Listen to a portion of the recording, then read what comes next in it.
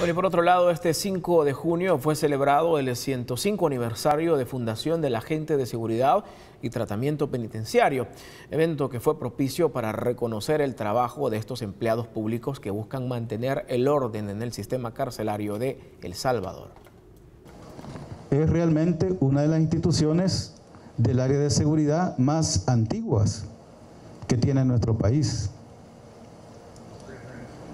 Bueno, se nos informaba que un compañero está cumpliendo 42 años de servicio.